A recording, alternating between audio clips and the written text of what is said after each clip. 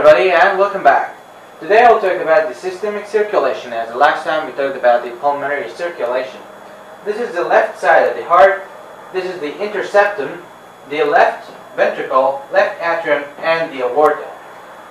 So the last time we stopped at the blood when it enters the heart once more through the pulmonary vein. So this blood is coming from the lungs and it's carrying oxygen. The blood is poured into the right atrium.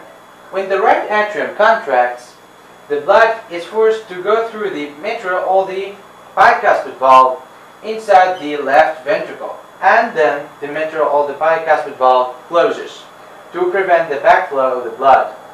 Then the nervous or the nerve impulses which propagate through the interseptum and which originate from the sinoatrial node um, stimulates the walls of the left ventricle to contract. So the blood moves through the aorta because this is the open valve, only open valve which allows the blood to go through it. So the blood goes through the aorta. Aorta gives, uh, aorta is an artery and it gives branches for um, many arterioles that spread all over the body, uh, upwards to the side of the head, and downwards for uh, the limbs and the other body parts. So when the blood reaches the body organs, diffusion takes place. As this blood is carrying oxygen, oxygen diffuses from the blood through the thin capillary walls to provide the cells with oxygen in order to let them respire and produce the energy needed for carrying out the vital activities.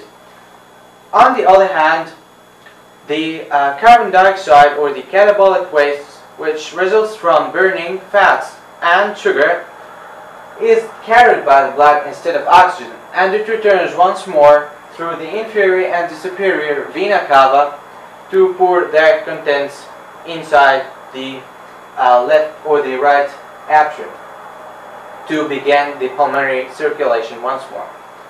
This is our first part. The second part is the hepatic uh, circulation. When the blood,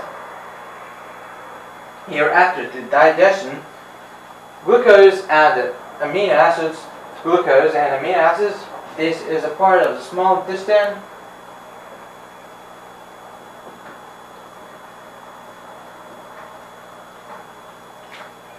Glucose and amino acids are carried by the blood through the body after the absorption and they move through the hepatic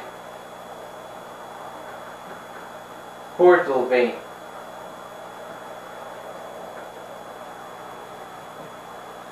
Hepatic portal vein.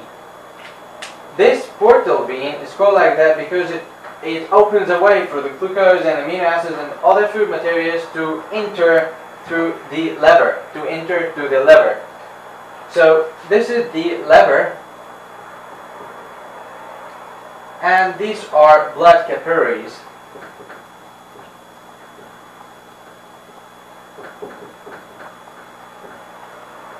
So the food contents carried um, by the blood, which moves through the hepatic portal vein and enter through the liver, are analyzed and then the excess food substances which the body do not need is filtered from the capillary walls and they undergo certain changes in order to uh, change into urine to be expelled outside the body. And then these blood, uh, blood capillaries segregate once more to give rise to the hepatic vein and this hepatic vein moves in order to uh, pour its contents inside the inferior vena cava and then to the heart. And this is it for the systemic circulation.